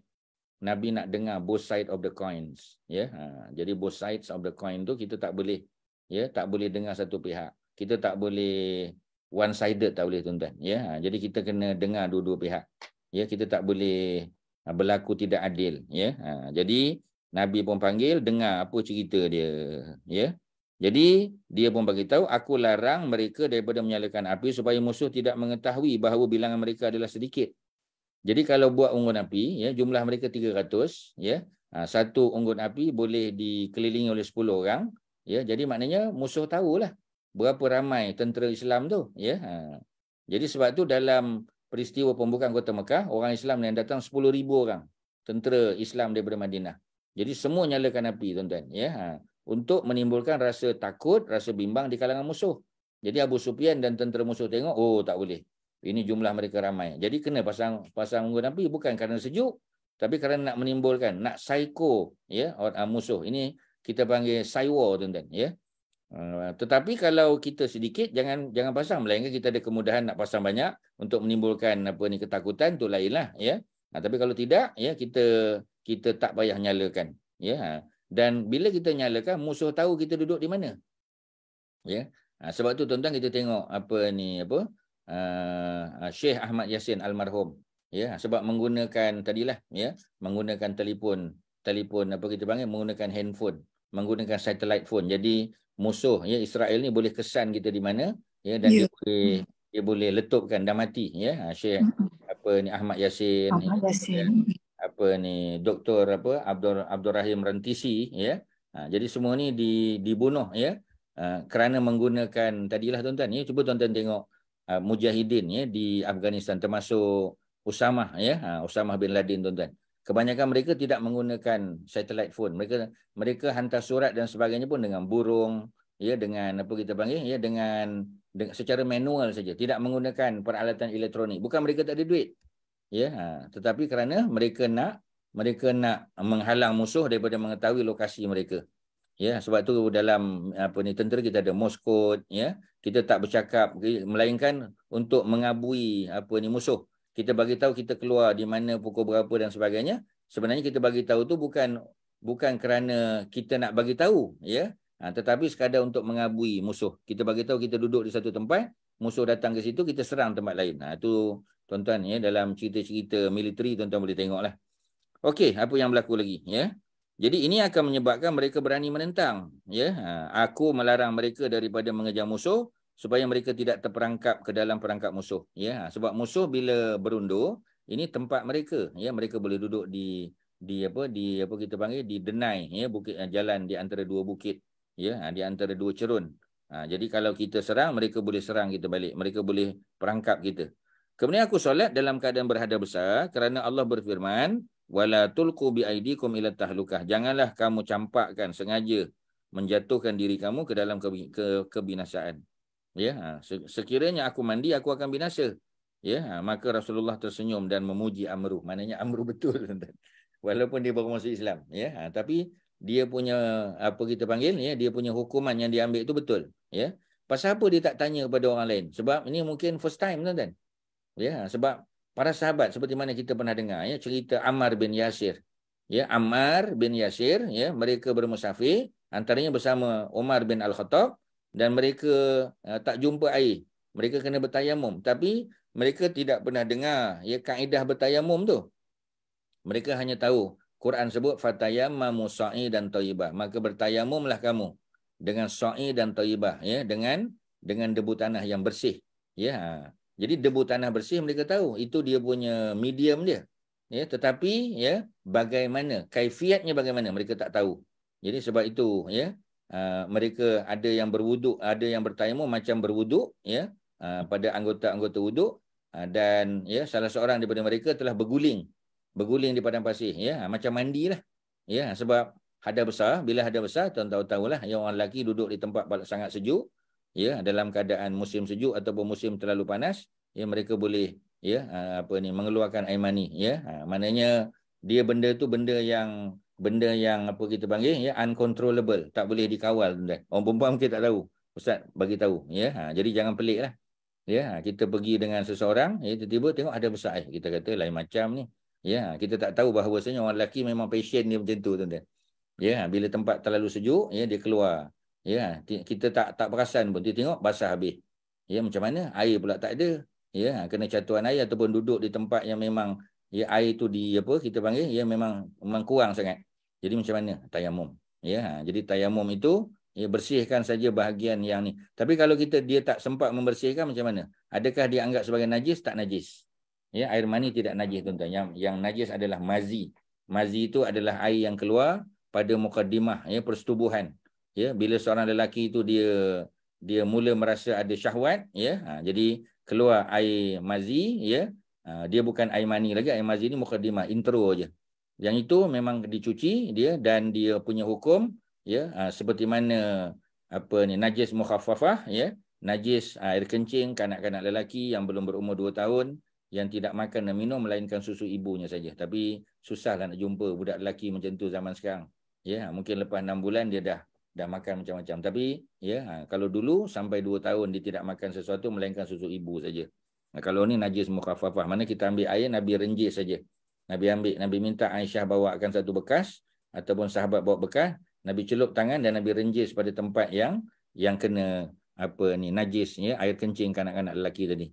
Nabi biarkan sekejap ya kering dan Nabi boleh pakai balik untuk solat. Ha, jadi benda-benda ni ya kita kata sesuatu yang mungkin kita tak biasa buat ya. Ha, tetapi macam itulah caranya. Kita lalukan air. Kita renjis tu mana lalukan air ya. Kalau zaman sekarang kita lalukan pada paip itu lagi bersih lah tuan-tuan. Ya, ha, itu lagi mudah. Okey ya. Jadi uh, Rasulullah telah memuji ya Amru bin Al-As kerana kebijaksanaannya ya dalam bidang ketenteraan dan juga dalam fiqh. Ha, jadi fiqh ni bukan mesti tahu banyak ya tetapi kita betul cara pemikiran kita. Okey, ada apa-apa soalan silakan. Ya, ada apa-apa soalan silakan tuan-tuan dan puan-puan. Ya, di chat tu ada banyak ya. Chat tu ada soalan ke ataupun sekadar perkongsian website ya, apa ni apa tadi? Ada apa-apa ke? Tolong siapa boleh tolong bacakan ya? Apa? Soalan ustaz uh, dari Mariatun Sarwani uh, ustaz golongan terpilih sama ada muktarin atau muktarib uh, tak jelas tadi ustaz. Mukhtar. Sangat. Sudah mukhtar ya. Min kha min kha ta alif ra mukhtar mukhtar tu maknanya yang terpilih macam kita punya striker dulu nombor 10 ya uh, mukhtar dari almarhum Mukhtar Dahari. Kita panggil Mukhtar lah. Ya, bahasa Arabnya Mukhtar. Mukhtar tu maknanya yang terpilih. Ya, ha, jadi yang terpilih Mukhtar. Kalau Nabi dan Rasul kita panggil apa ni Mustafa yang terpilih, the chosen one. Sebab dia the one and only. Ya, macam Rasulullah tu dia seorang aja. Tapi kalau kita ramai-ramai, ya biasa kita tak panggil lah apa ni Mustafa. Ya, kita panggil Mukhtar. Mukhtar seorang. Kalau ramai Mukhtarin. Okey, ada lain? Silakan. Apa tadi? uh, dekat uh, apa ni soalan golongan terpilih sudah ya yeah. ada lain ke dekat ni ustaz Azhar pengkongsian ayat tadi kan ayat 199 tadi ya eh? Yang lain tak ada ya. Kalau ada bagi tahu ya, kalau tak ada kita teruskan saja. Syariah Abu Ubaidah bin Al-Jarrah. Ni yang nombor dua tadi. Ya. Abu Ubaidah bin Al-Jarrah ni orang nombor berapa yang dijamin syurga tuan-tuan? Daripada 10 dia nombor berapa? Sembilan. Sembilan. Nombor sembilan. Ya, nombor sembilan. Selepas dia ialah adik ipar kepada Umar bin Al-Khattab, ya, Said bin Zaid. Said bin Zaid ni dia low profile, sangat low profile tuan-tuan. Dia orang kaya juga. Ya, dia berkahwin dengan Fatimah binti Al-Khattab, ya, adik kepada Umar. Mereka berdua masuk Islam lebih dulu daripada Umar. Umar ni kemudian. Tapi Umar ni fast track tuan-tuan. Ya, masuk Islam lambat tetapi dia catch up ya cepat tuan-tuan. Dan dia dia melebihi orang-orang lain ya yang apa kita panggil yang masuk Islam lebih awal daripada dia. Okey ya. Uh, kalau orang tanya kita bila Umar masuk Islam, dia masuk Islam 6 tahun selepas Nabi dapat wahyu. 6 tahun tuan-tuan. Orang lain Abu Bakar dengar aja masuk Islam. Ali masuk Islam, ya. Khadijah masuk Islam. Hari yang pertama dia masuk Islam. Tetapi Umar ni memerlukan 6 tahun, ya. Dan Umar masuk Islam 3 hari selepas daripada daripada Hamzah bin Abdul Muttalib. Hamzah pun masuk Islam lambat. Ya sebab Hamzah ni dia sibuk dengan dengan kerja dia lah tuan-tuan. Ya dia memburu, dia dia kerja dia. Ya dia tak duduk, dia tak betah duduk di Mekah sangat, ya. Ha, jadi sebab tu dia tak terlibat. Dia ni bukan mainstream tuan-tuan. Ya. Ha. Jadi dia apa kita panggil? Ya, dia bawa diri dia lah.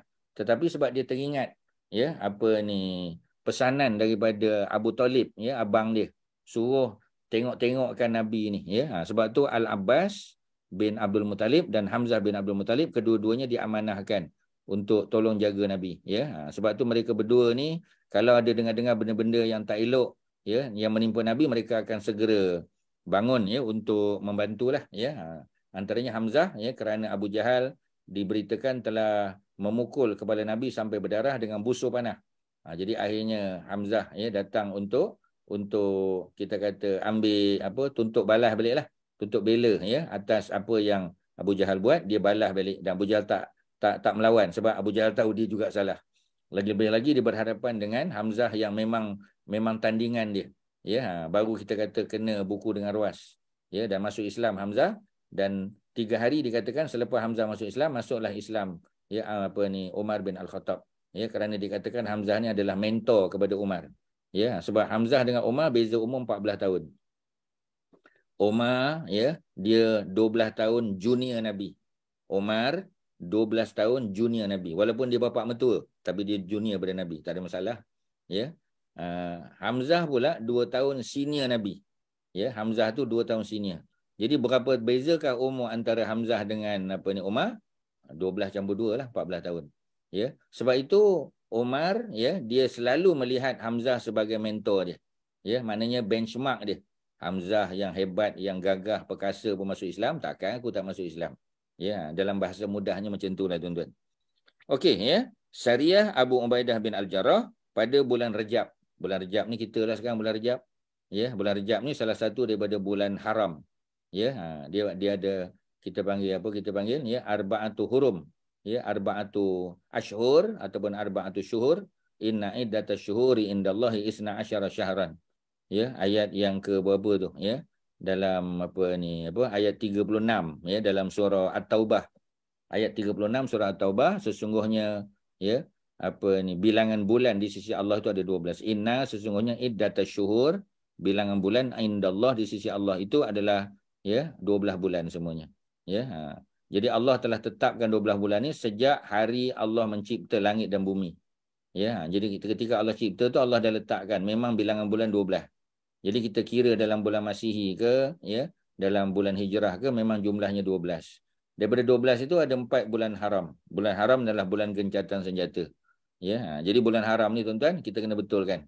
Ya ha. jadi kita kena tengok tafsiran Ibnu Kasir dalam tafsirnya ya dia ambil dia quote daripada Abdullah daripada Abdullah bin Abbas ya. Ha, Abdullah bin Abbas ni adalah tokoh tafsir hebatlah yang telah didoakan oleh Nabi ketika tahniknya dan memang muncul sebagai orang pakar ya. Ha, dia panggil sebagai sebagai hibrul ummah ya. Hibrul ummah ni maknanya ya ilmunya seluas lautan tu tuan-tuan. Ya hebatnya macam ya dia dia rujukkan kepada umat Islam dalam bidang tafsir terutamanya dalam bidang hadis juga Ya, jadi memang hebatlah ya sebab Nabi tahnik dia Nabi sebut Allahumma faqih oh fi din ya Allah faqihkan pandaikan Abdullah ni dalam bidang dalam bidang agama. Wa alimhu ta'wil ajarkan kepadanya ilmu takwil. Takwil di sini bukan takwil mimpi bukan. Ya, takwil di sini adalah ilmu tafsir.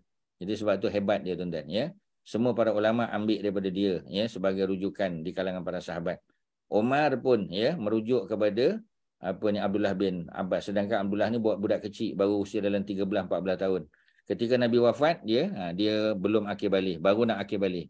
Ya, ha, jadi lebih kurang 4 2 tahun selepas daripada itu ya selepas wafat apa ni Abu Bakar Siddiq naik Umar ya pada tahun yang ke-13 Hijrah ha, maka ketika ada persoalan ya di kalangan apa ni think tank Umar ya di kalangan pemikir-pemikir Umar ya maka bila diadakan musyawarah maka dijemput Abdullah dan mereka mempertikai pasal apa ya jemput Abdullah Abdullah budak kecil lagi ya baru dia umur 15 16 tahun tapi bila Umar tanya soalan berkaitan dengan tafsiran ya tafsiran apa ni Al-Quran maka sahabat tak boleh jawab. Boleh jawab tapi secara zahir. Ya, tetapi Abdullah bin Abbas jawab ya, dengan jawapan yang mereka, bila dengar mereka takjub ya, melihat seorang budak kecil yang hebat ya, tafsirannya. Kerana kerana ilmu itu adalah ilmu Allah Subhanahu Wa Taala. Ya, ha, itu beza dia. Okey, ya. bulan Rejab, ya, ha, kata Abdullah bin Abbas apa tuan-tuan? Bulan Rejab dia tak ada ibadah khusus. Ya, ha, kalau orang kata puasa sunat khusus Rejab, ya apa ni semayang sunat rejab ya ada doa khusus rejab sebenarnya tak ada tuan ya dia tak ada tak ada mana-mana hadis hadisnya banyak. Tetapi hadis itu tidak sahih tidak sabit daripada nabi ya. Ibnu hajar dah dah sebutnya dan kita dah kongsi dalam perbincangan kita itu ya apa ni sahabat-sahabat kita ya. Ajar Zainab Ajar Syahri dan sebagainya dah kongsi ya tentang apa apa ni apa kita panggil ya tentang Uh, uh, jawapan daripada mufti wilayah Dr. Zulkifli Al-Bakri bekas mufti wilayah dan bekas menteri agama ya. Uh, cuma kita kena sedikit baiki jawapan tersebut ya. Memang tak ada ibadah khusus tetapi oleh kerana bulan Rejab adalah bulan haram ya uh, dosa dalam bulan Rejab akan digandakan ya sebab dia bulan haram tuan-tuan kalau buat kesalahan bulan ni memang dosa diganda jadi apabila dosa diganda amalan baik juga diganda jadi mana kalau orang tanya kita ada tak Rejab ni ada kelebihan? Memang dia ada kelebihan sebab dia bulan haram. Jadi bulan Rejab ya, kita ada Zulhijjah, Zulkaidah, Zulhijjah bulan Muharram. Ni empat bulan ni adalah arba'atu hurum ya. Ha, maknanya arba'atu hurum ni adalah empat bulan ya empat bulan Muharram. Empat bulan Muharram ni kalau buat dosa diganda. Ya berapa tu ya kebijaksanaan Allah lah. Dan kalau kita buat kalau buat puasa sunat contoh ya, ha, tuan-tuan nak puasa sunat esok ya hari Khamis sebagai contoh ya. Puasa sunat kami memang disyariatkan tak kira lah bulan apa pun. Tapi bila kita buat dalam bulan dalam bulan haram ni ya maka mudah-mudahan pahala kita digandakan.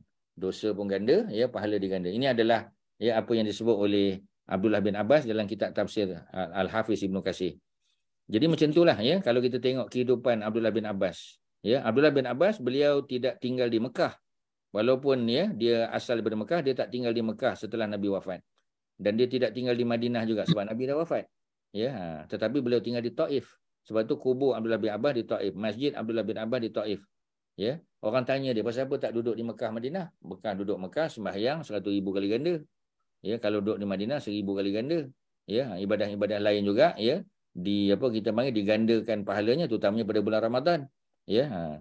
jadi kata apa ni Abdullah bin Abbas ya, mungkin dia boleh dapatlah. Tapi anak cucu dia macam mana? Kalau mereka buat baik, diganda. Kalau buat jahat, ha, jadi benda-benda tu ya menjadi sebab ya untuk Abdullah bin apa ni Abbas ya tinggal bukan di Madinah, di Mekah tetapi di Taif, tempat yang bukan tanah haram. Tapi ada kelebihan dia lah ya sebab Taif ada sejarah dia. Ya, ada sejarah ya, ada merakamkan apa kita panggil kejadian dan insiden yang menimpa Nabi ya ketika Nabi berdakwah ke sana. Okey, ada soalan apa tuan-tuan? Silakan. Ada apa? Ya, Hajar Zainab ada apa? Ya. Kak Suharti kalau ada, ya. Masih Ustaz. Ya, tak ada ya. Ustaz. Ya, silakan. Uh, uh, saya nak tanya yang tayamum tadi tu, mm-hmm. uh, dia valid untuk satu waktu solat fardu je kan Ustaz? Betul. Uh, jadi macam uh, kalau maghrib kita ambil tayamum and uh, and then uh, terbatal and then uh, um, uh, I mean kalau terba, uh, tak boleh bawa macam isyak tak boleh bawa ke uh, maghrib tak boleh bawa ke isyak ustaz eh Patutnya tak boleh. Dia tak boleh carry forward. Ah. Dia tak boleh lah. Ya. Ha, dia dia dia macam ya ha, orang yang apa kita panggil perempuan yang istihadah. Perempuan hmm. darah penyakit istihadah maknanya satu solat eh satu satu wuduk ya hanya untuk solat tersebut saja pada waktu tersebut dan tak boleh ambil dia tak boleh taharah itu sebelum masuk waktu. Ya macam tadilah oh. masuk waktu cari air tak jumpa ya ha, ataupun tak boleh menggunakan air kerana terlalu sejuk ambil ambil apa ni tayamum tu dalam waktunya dan dan hanya untuk solat pada waktu tersebut. Maknanya kalau nak buat qabliyah boleh lah. Ya, ha, hmm. qabliyah boleh ya. Ha, sebab subuh tak ada ba'diyah. Qabliyah subuh boleh dan diikuti dengan solat pada pada subuh boleh. Kalau zuhur maknanya qabliyah zuhur dan ba'diyah zuhur dan bila masuk waktu lain ya dia dia tak tajawuz tajawuz tu maknanya dia tidak melampaui waktu bukan makna walaupun tak batal masuk asar ha, dia kena tayamum balik kalau ustaz salah mungkin boleh cek ya ha, mungkin ada beberapa pandangan ulama-ulama lain mungkin ada sebab bila fiqh ni begitu tapi setakat bacaan dan pengetahuan kita ya dia hanya valid untuk satu solat fardu dan solat rawatib yang mengiringinya saja yang mengiringi itu makna qabliyah ataupun ba'diyah ataupun qabliyah dan ba'diyah. Ya. Okey, ada lain silakan. Jazakallahu khairan Ustaz. Wa jazakumullahu khairan. Ustaz nak tanya pasal tayamum ni Ustaz. Mm-hmm. Sorry ya. Yeah. Um, sebab kita uh, cuaca kat tempat kita is wet Ustaz ya. Kita tanah kita basah. Mm-hmm. So uh, saya saya pernah tengok uh, sebab masa tu ialah apa tu is a banjir and then there was no water. Banjir but there was no water and then air uh, tak bersih lah air banjir tu kan. Hmm. I mean like tak bersih pun tak faham lah macam mana. Is it better to take air banjir tu uduk ataupun bertayamum? Lepas tu tayamum tu Ustaz, saya hmm. tengok dia buat dekat dinding tu Ustaz. Oh. Kata dinding tu dinding. ada uh, uh, lepas tu dia bertayamum. So nak tanyalah macam mana actually which one is better to take wuduk with the water yang banjir okay. tu ke because it's a lot atau bertayamum? Tapi air tadi ya sebab jumlahnya banyak maka dia dianggap suci. Ya macam kita kata di masjid dia ada kolah tu. Kolah tu mana kolam besar tu. Ya. Yeah. Walaupun ada taik cicak dalam tu ada cicak mati ke ya sebab jumlah air itu cukup banyak jadi air itu tidak dinajiskan oleh apa ni uh, oleh najis yang sedikit jadi makna okay. boleh ya boleh pakai tak ada masalah jadi kalau air yang mengalir lebih-lebih lagi lah ya ha. sebab air itu mengalir ya ha. jadi tidak ada kalau uh, mana kita boleh gunalah air banjir tadi. Melainkan ya kita kata ada bangkai bersama-sama dengan dia ya. Ha. ataupun ada najis yang lain. Tapi secara umum kalau tak nampak ya apa ni najis berdekatan dengan situ maknanya kembali pada hukum asal ya. Apa apa kita panggil ya al aslu at tuhur ya. Ha, ataupun al aslu at taharah hukum asal bagi bagi segala sesuatu itu adalah bersih.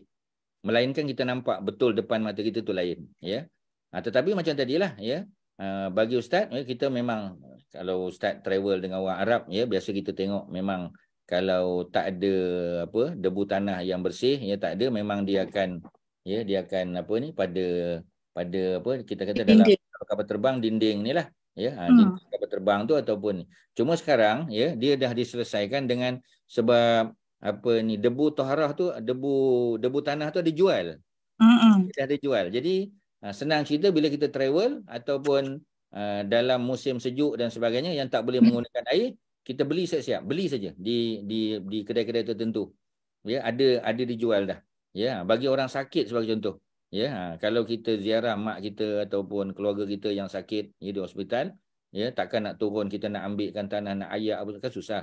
Jadi dah dijual, ya, dalam bentuk macam telkom lah, dalam dalam bentuk macam bedak tu kan, ya. Jadi kita boleh guna senang. Tak payah kita nak pada apa kita panggil dinding sebagainya. Dulu mungkin ya sebab tak ada kemudahan. Tapi sekarang sudah ada kemudahan, kita guna apa yang available dalam market. Tu je lah. Okey, tuan-tuan, boleh ya? Jazakumullah khairan Ustaz. Jazakumullah khairan. Terima kasih atas soalan. Ya. Jadi pada bulan Rejab kita tengok ya, pada bulan Rejab ya, bulan salah satu pada bulan haram ya. Ha, dia nama dia bukan Muharram tapi dia bulan haram. Ya, dia bulan Muharram juga kita panggil. Memanglah yang nama Muharram tu bulan satu saja. tapi Zulkaidah, Zulhijjah dan uh, bulan Rejab juga dipanggil bulan haram ataupun bulan Muharram sama. Bulan genjatan senjata. Ya, tak boleh pukul orang, tak boleh bulan lain pun tak boleh pukul orang juga. Ya, ha, tapi bulan ni lagilah dilarang daripada pukul orang, daripada mencuri, daripada membunuh dan sebagainya. Ya, dan perbuatan uh, salah ya yang dilakukan pada bulan-bulan tersebut ya digandakan dosanya. Ha, sebab itu kata Abdullah bin Abbas, demikian juga perbuatan baik, puasa sunat, ya solat-solat sunat, ibadah-ibadah yang biasa kita buat. Dia tak ada ibadah khusus bulan Rejab, tetapi ibadah biasa yang kita buat pada bulan Rejab mudah-mudahan ditambah digandakan pahala oleh Allah. Kita tak tahu berapa jumlahnya, itu ada apa ni? Allah punya discretion lah, kebijaksanaan Allah Subhanahu Wa Taala. Okey tuan-tuan ya. Sikit lagi kita baca. Jadi Rasulullah hantar Abu Ubaidah ya bersama dengan 300 orang tentera untuk memerangi kabilah Juhainah. Ya, Juhainah ni orang Badui juga. Yang tinggal di kawasan pinggir pantai. Ya ha, cuma mereka duduk di kawasan pinggir pantai. Ada nota kaki di bawah terletak sejauh lima malam perjalanan daripada Madinah ya ke arah pinggir pantai. Maknanya daripada Madinah nak pergi ke pantai Laut Merah. Ya ha, Laut Merah lah pantainya Laut Merah ataupun dipanggil Laut Kulzum. Ya Laut Merah Al-Bahrul Ahmar ataupun Bahar Kulzum. Ya Bahar Kulzum tu adalah Laut Merah tu lah Red Sea tu ya ha, jadi lima malam jadi boleh agak lah sebab kalau perjalanan satu malam, satu hari satu malam, lebih kurang 80 km. Ya, ha, jadi 8 kali 5, 400 km lebih kurang, agak jauh juga. Ya. Jadi ni anggaran ya, mungkin kurang daripada itu, mungkin lebih. Jadi Nabi memberikan beberapa guni kurma sebagai bekalan untuk tentera. Ha, jadi kebetulan ya, musim ni musim kita kata musim buah kurma ada. Ya, maknanya musim panas lah ni. Ya, sebab kalau musim tak panas ya ha, buah kurma tak ada atas pokok ya ha, jadi mungkin jumlahnya sudah tidaklah sebanyak ya seperti mana bulan bulan panas musim panas ya. Sebab kurma dia masak pada musim panas. Dia memerlukan apa ni heat tu ya ha, cuaca panas itu untuk mengeluarkan buah yang baik ya. Mereka mara sehingga sampai ke pinggir pantai tinggal di situ selama setengah bulan ya. Setengah bulan maknanya dua minggu lah kerana menunggu kedatangan musuh mereka kehabisan makanan sehingga terpaksa memakan daun kayu. Ya ha, as-sumur ya yang di yang dibasahkan dengan air. Mereka memakannya sehingga bibi-bibi mereka pecah. Ya ini ada riwayat daripada Utbah bin Ghazwan. Utbah bin Ghazwan ni dia dia apa kita panggil? Dia meninggal jatuh daripada unta dia dalam perjalanan ke Basrah. Ya kuburnya ada di apa di Basrah dekat dengan kubur Az-Zubair bin Al-Awwam dikebumikan di masjid yang sama ya Ha, jadi dia apa? Dia seorang yang zuhud. Dia antara orang awal masuk Islam. Dia orang yang ketujuh masuk Islam di Mekah. Utbah bin Ghazwan nama dia. Utbah ya ain ta ba ta marbutah. Ain ta ba ta marbutah Utbah ya bin Ghazwan. Beliau dapat pahala hijrah dua kali seperti mana Saidina Osman, seperti mana Ja'far bin Abi Talib ya. Ha, kerana dia hijrah ke Eritrea, di antara yang awal masuk Islam dan dia balik ke Mekah kemudian hijrah bersama Nabi ke Al-Madinah Al-Munawwarah pula. Ha, jadi dia ada cerita ya. Ha, dia kata kami pernah pernah bermusafir ya dalam perjalanan kami makan daun-daun kayu sehingga ya bibi-bibi kami pecah. Ya, ha, mungkin sebab tadilah ya, mungkin keras dia sebab terpaksa dibasahkan dengan air ya. Macam kurma di negara Arab lah sebahagian macam kita pergi Mesir.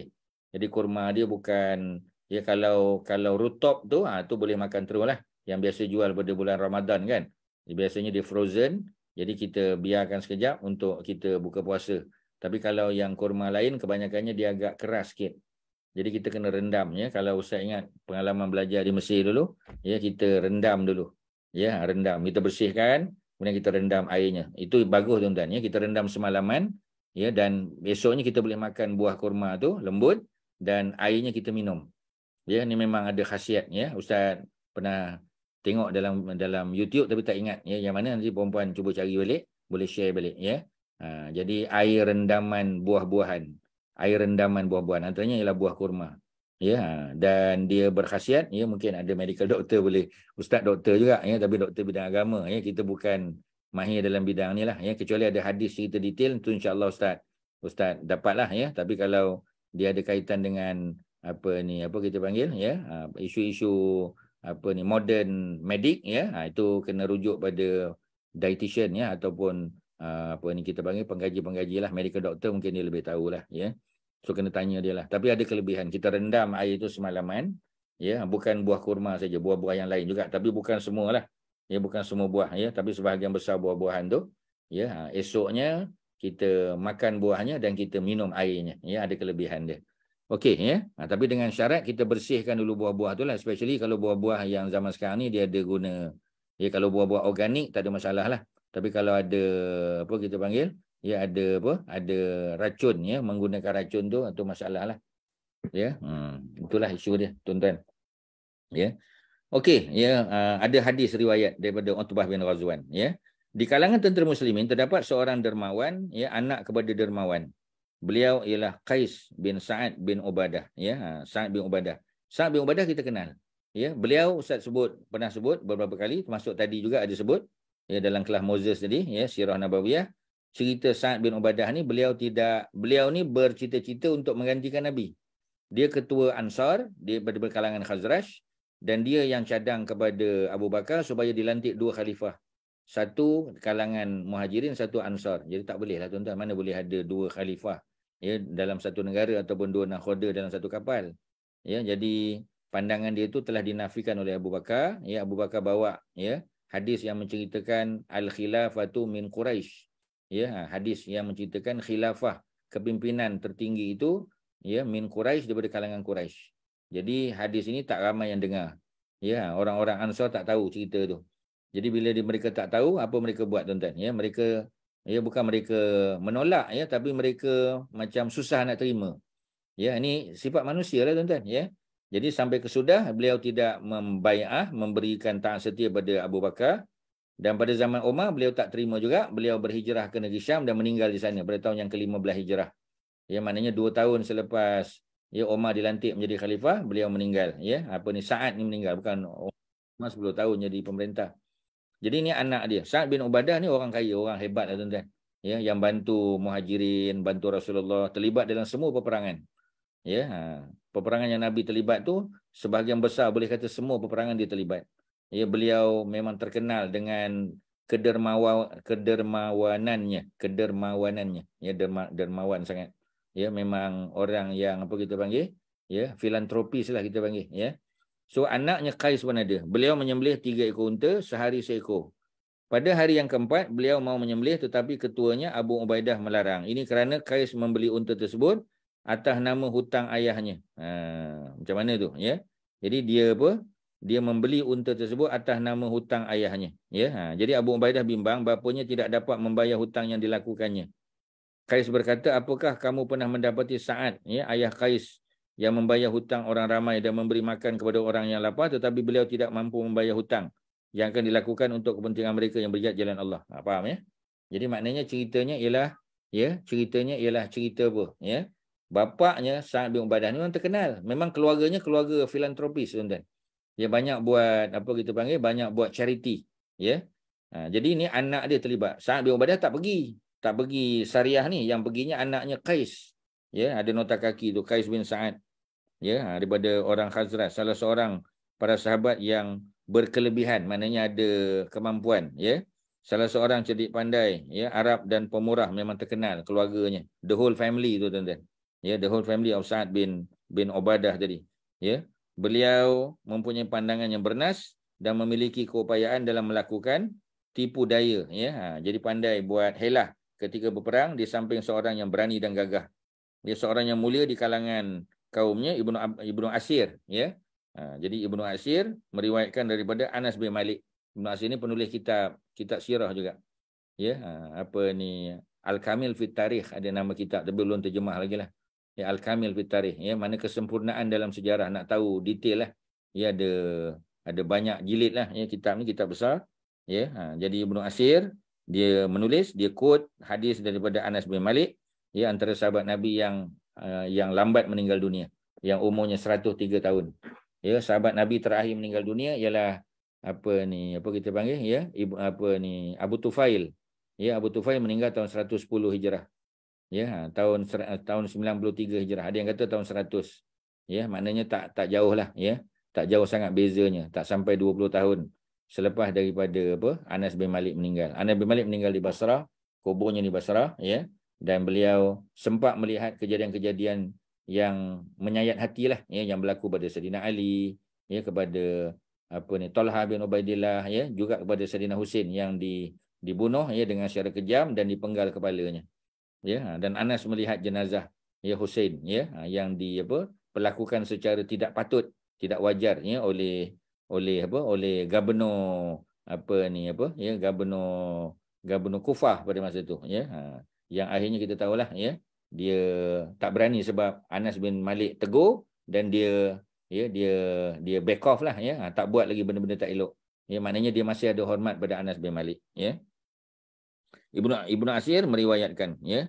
Kedudukan Qais bin Sa'ad bin Ubadah ni di sisi Nabi ialah kedudukan ketua polis di sisi ketua negara. Ha. jadi maknanya dia orang besar lah ya ha, somebody ya Ha, disebut kedudukan beliau adalah seperti mana kedua ketua polis negara.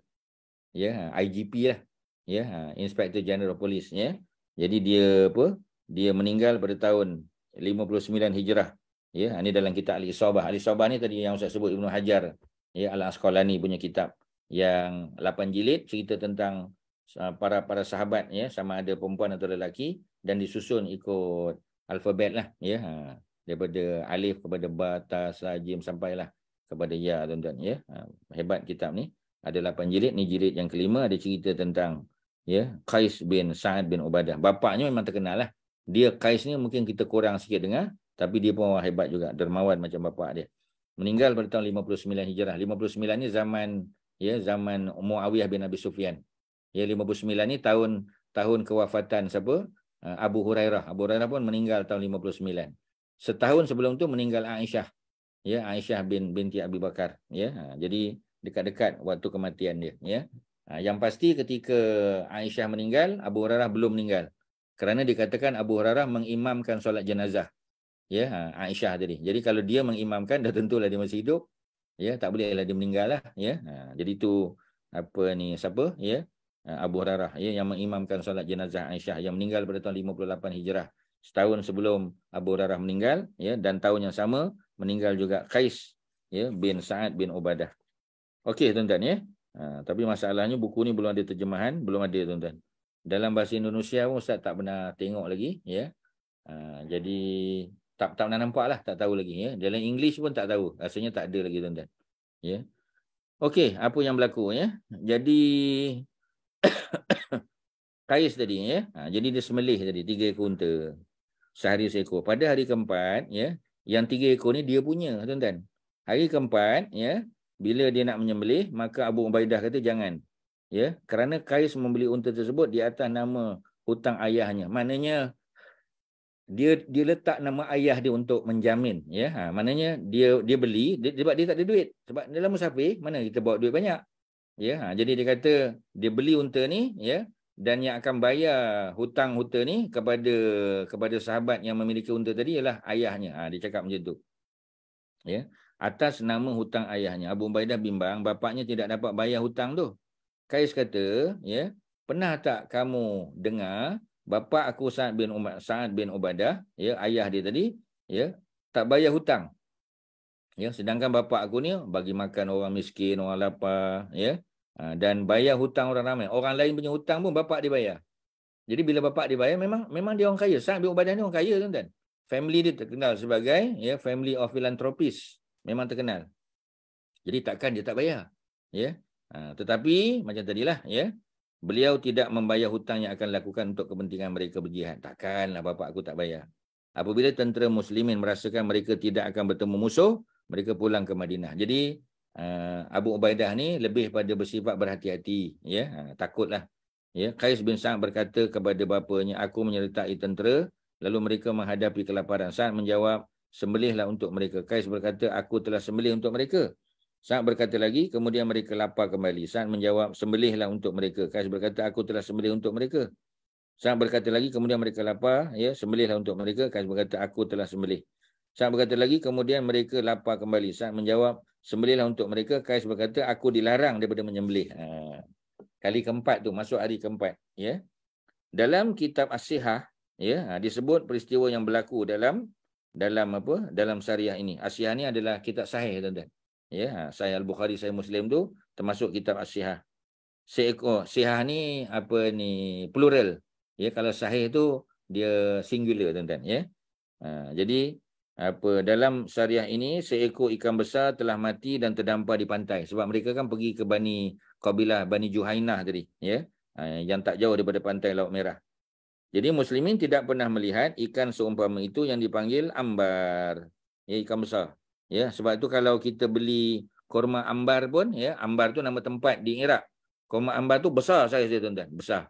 Ya dia macam mejul juga besar, ya sedap juga ya. Ha. Jadi kita kata apa? Ha, mereka jumpa ikan besar tadi, mereka memakannya selama setengah bulan. Rasulullah ya mengiktiraf tindakan mereka dan berkata, makanlah rezeki yang dikurniakan oleh Allah, berilah kami makan sekiranya masih berbaki.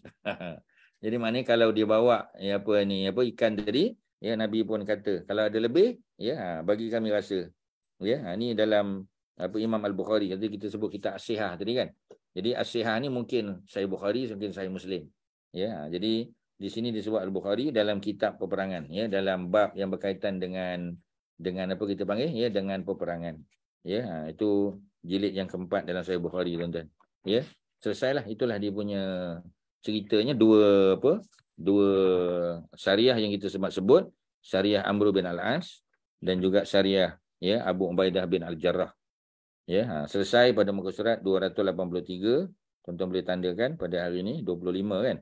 25 hari bulan 1 ya tahun 2023 selesai ya kelas PMP kita.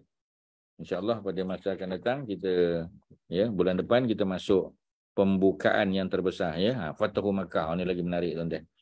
Okey ya, ada apa silakan? Ya, ada apa-apa soalan? Ya. Haji Shoaib ya, apa ni Haji Hashimah kalau ada apa-apa ustaz boleh bantu silakan.